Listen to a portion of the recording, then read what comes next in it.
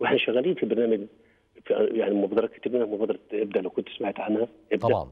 الهدف منها كلها إنك أنت تعمل إحلال لكتير من مستلزمات الإنتاج اللي أنت بتجيبها من الخارج وتعملها في مصر.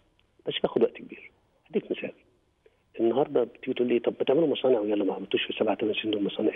يا يوسف أنا عشان أعمل مصنع البيت كوبايات مثلا بياخد مني خمس سنين. هيشغل في الآخر 700 800 واحد. ولازم أعمله.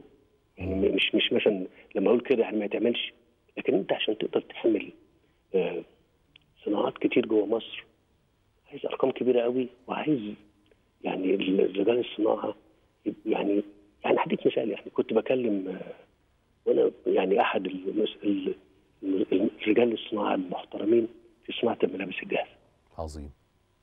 فبقول له يعني أنا عايزك إذا كنت بتصدر ب 500 عايزك تصدر ب 5 مليار. قول لي أعمل لك إيه؟ أنا مستعد أنفق معاك زي ما أنت عايز بس مش عشان اشاركك واخد فلوسك مم.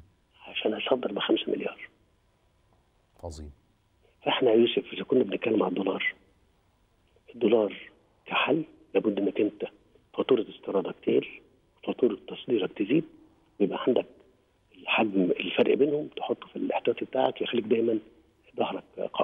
طب هل ينفع أنوع سلة العملات يا فندم؟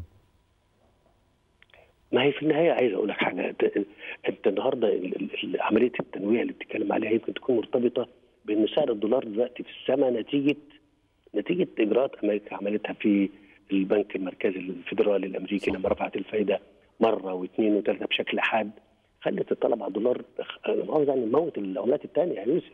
أيوه.